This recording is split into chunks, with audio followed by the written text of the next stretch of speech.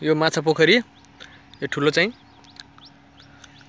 यो चाहिँ भुराहरू माछाको भुराहरू हाल्नको लागि।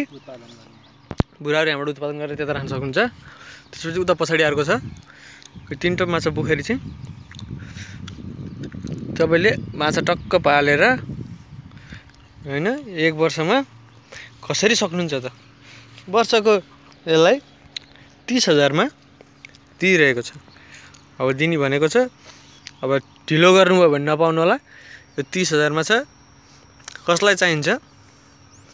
हेर्नुहोस् माछा पोखरीको साइज? उतापट्टि त्यो पछाडि कारको देख्नुहुन्छ। यो भयो। यो तिनवटा छ यस्तो हरियाली ठाउँमा छ। ए पुरै हरियाली। ए शीतल। त्यहाँ यो उतापट्टिको माछा पोखरी भन्दा त्यो यो सेकेन्ड माछा पोखरी भन्दा उतापट्टि नारायणीको पानी आउने घोल्छ त्यही भएर चिसो भइरहेको छ। है तपाईँलाई? यहाँ बोरिङ पनि छ। के चाहिन्छ व्यवस्था छ? यो माछा पोखरी? बस्नलाई कटेरो सटेरोको व्यवस्था। ल यो अफर सधैँ आउँदैन।